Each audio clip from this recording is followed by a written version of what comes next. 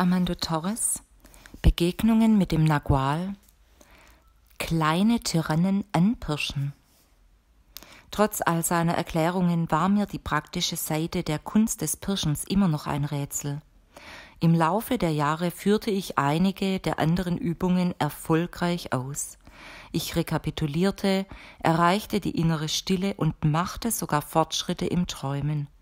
Doch wann immer ich mich im Pirschen versuchte, erzielte ich nur vage Ergebnisse oder es endete damit, dass ich mir lächerlich vorkam. Offenbar wusste Carlos über meine Anstrengungen Bescheid. Irgendwann rief er mich an und sagte zu mir Mach es nicht so kompliziert. Du machst ja eine Karikatur aus den Lehren. Wenn du pirschen willst, dann beobachte dich selbst. Wir alle sind vorzügliche Jäger. Pirschen ist eine natürliche Begabung. Wenn wir Hunger haben, dann unternehmen wir etwas dagegen. Kinder weinen und erreichen so, was sie wollen.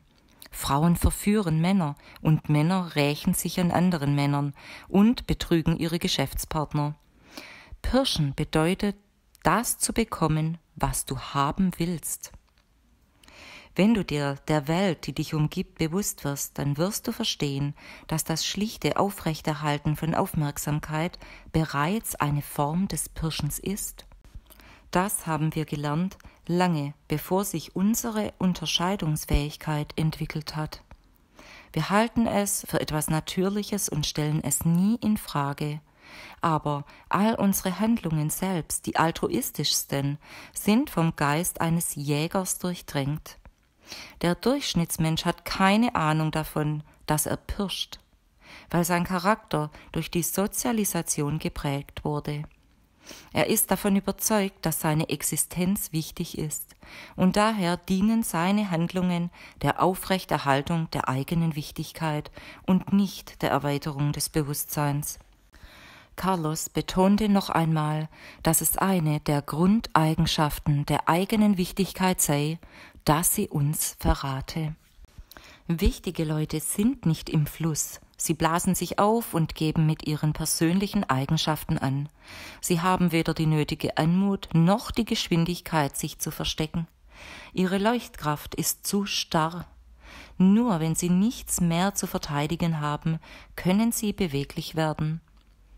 Die Methode der Zauberer besteht darin, sich auf neue Art und Weise auf die Realität zu konzentrieren, in der wir leben. Statt immer neue Informationen anzuhäufen, versuchen sie ihre Energie zu verdichten. Ein Krieger hat gelernt, sich selbst anzupirschen und trägt nicht länger die Bürde, seiner Umwelt ein bestimmtes Bild von sich präsentieren zu müssen. Niemand bemerkt ihn, wenn er es nicht will, und zwar, weil er an nichts gebunden ist. Er ist ein Jäger, der gelernt hat, über sich selbst zu lachen. Er erzählte mir, wie seine Lehrerin Donna Florinda Matus ihn gelehrt hatte, unauffällig zu sein. Gerade zu der Zeit, als ich anfing, mit meinen Büchern viel Geld zu verdienen, schickte sie mich zum Arbeiten in eine Autobahnraststätte, wo ich Hamburger braten sollte. Einige Jahre lang schuftete ich dort, mein Geld stets vor Augen, aber ohne jede Möglichkeit, es auszugeben. Sie meinte, dadurch würde ich lernen, auf dem Teppich zu bleiben und meine Aufgabe nicht aus den Augen zu verlieren. Ich habe meine Lektion gelernt. Wenig später bekam ich eine weitere Gelegenheit, unsichtbar zu sein. Ich hatte einige Kakteen zum Haus eines Freundes gebracht und war gerade dabei, diese einzupflanzen. Plötzlich erschienen zwei Reporter der Times, die schon lange auf der Suche nach mir waren. Sie hielten mich für einen Arbeiter und fragten nach dem Herrn des Hauses. Ich zeigte auf die Tür und sagte ihnen, dort müsst ihr klopfen. Mein Freund antwortete auf die obligatorische Frage, nein, ich habe ihn nicht gesehen. Die Reporter gingen wieder und fragten sich, wo zum Teufel dieser Castaneda bloß sein könnte. Er fuhr fort zu erläutern, dass das Problem der eigenen Wichtigkeit eine sehr persönliche Angelegenheit sei und deshalb jeder Krieger die Lehren an seine individuellen Bedingungen anpassen müsse. Aus dem Grund seien die Techniken der Pirscher extrem flexibel. Dennoch sei das Training für jeden dasselbe. Es ginge stets darum, sich von überflüssigen Gewohnheiten zu befreien und genügend Disziplin aufzubringen, um die Zeichen der Absicht zu erkennen.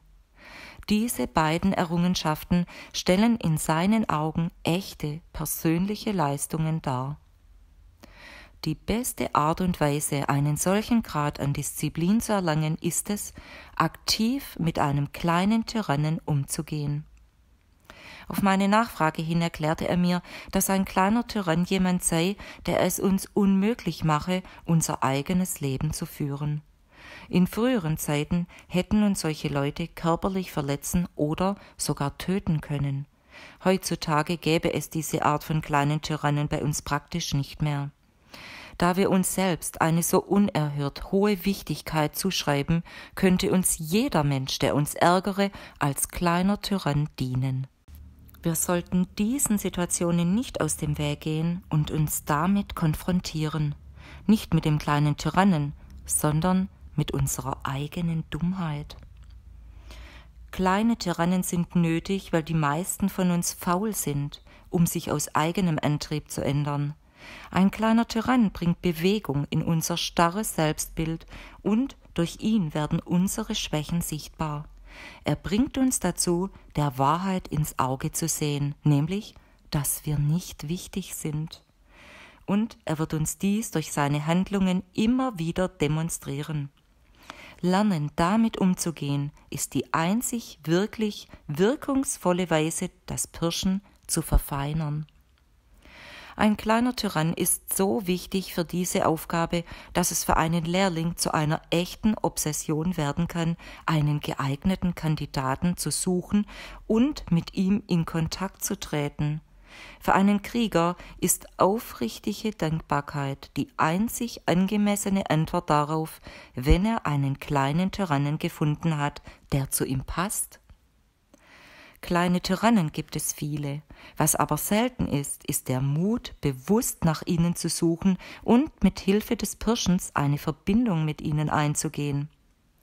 Man muss ihren Ärger förmlich provozieren, sich ihrem Einfluss aussetzen und gleichzeitig passende Strategien für den Umgang mit dem kleinen Tyrannen entwickeln. Normalerweise laufen wir unser Leben lang genau vor den Situationen davon, die Schmerz, Angst oder Verwirrung hervorrufen. Auf diese Weise bringen wir uns selbst um eines der wertvollsten Werkzeuge, die der Geist für uns bereitgestellt hat. Mit welcher Strategie tritt man solchen Feinden entgegen?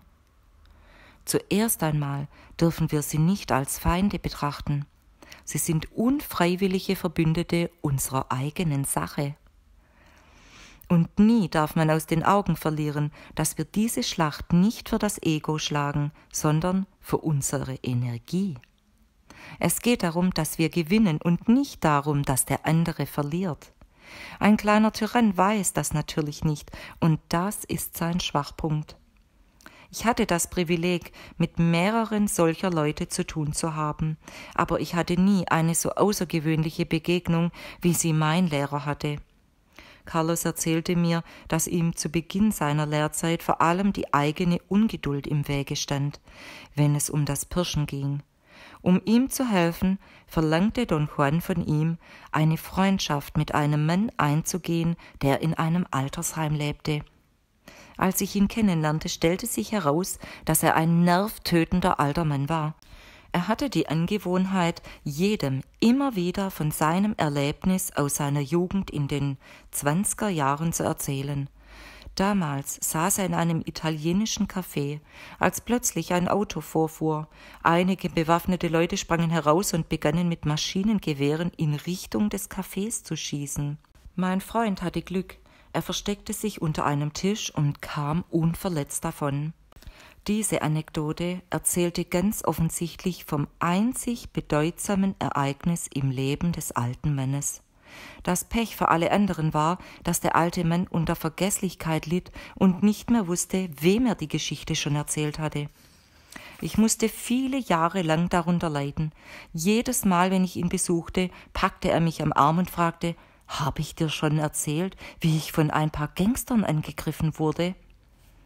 Ich empfand Mitleid für ihn, weil er mich an meine eigene ungewisse Zukunft erinnerte. Irgendwann hatte ich aber die Nase voll. Ich ging zu Don Juan und sagte, ich ertrage diesen alten Mann nicht länger. Er macht mich wahnsinnig. Sag mir, warum ich ihn immer noch besuchen muss. Aber Don Juan blieb unnachgiebig. Er befahl mir, dass ich den alten Mann von nun an jeden Tag besuchen oder meine Lehrzeit beenden müsse. Aufgrund seiner Drohung nahm ich all meine Geduld zusammen, um die Aufgabe zu Ende zu bringen. Manchmal stellte ich mir in meiner Fantasie vor, dass der alte Mann vielleicht gar nicht der war, der er zu sein schien. Das gab mir Mut, mit dieser Aufgabe fortzufahren. Bis ich eines Tages in das Altersheim kam und man mich darüber informierte, dass mein Freund gestorben war.